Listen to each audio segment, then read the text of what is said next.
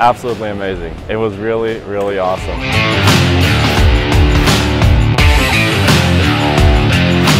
First, I think it's it's gonna be easy, but now I'm sweating.